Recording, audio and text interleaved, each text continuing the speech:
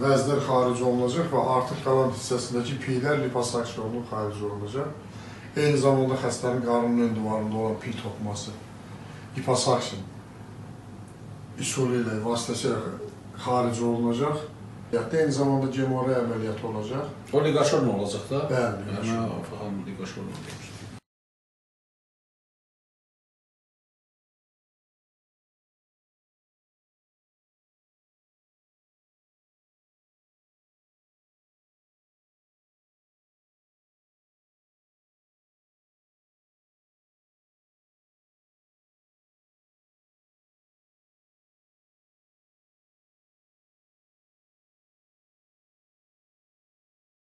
May ayının 21-də 2019-cu ildə mən saat 2 radələrində e, Vital Klinika gəldim və 3 dənə əməliyyat e, keçirmək üçün müraciət edirəm. E, Məndən bütün müayinələr götürüldü. E, Axşam saat 10 radələrində 3 saat davam edən uğurlu e, əməliyyatdan sonra məni palataya yazdılar.